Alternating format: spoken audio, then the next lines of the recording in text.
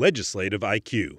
Increase your legislative intelligence with Florida's policy, budget, and campaign monitoring service. Subscribe today at legislativeiq.com.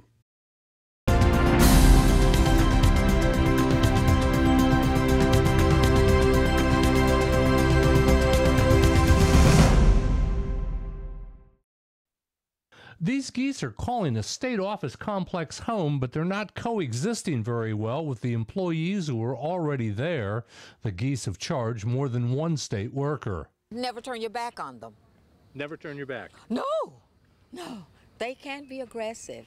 One woman was even taken to the hospital after she got out of her car, was surprised by a hissing goose, and then fell and hit her head. In an email, the state says its top priority is the safety and well being of employees. It added, We're also focused on supporting this employee and making sure she has a quick and speedy recovery. They hiss at you. They hiss at you. Yeah, it's sketchy. How'd you feel when that happened? Scare you? Yeah. I'll run.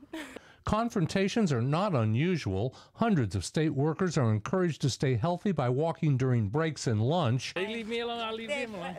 The St. Francis Wildlife Association says the geese are just trying to protect their nests. Well, I don't think they're trying to scare people, but they're trying to keep them away from their nests. So if somebody has inadvertently walked too close to a nest, the goose is going to tell them, get back.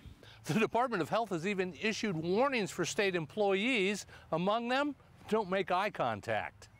The geese are going to remain until the goslings learn to fly. That means it could be a long, hot summer until the geese leave this fall, but even then, there's a good chance they'll be back next winter. Reporting from the state capitol, I'm Mike Vasilinda.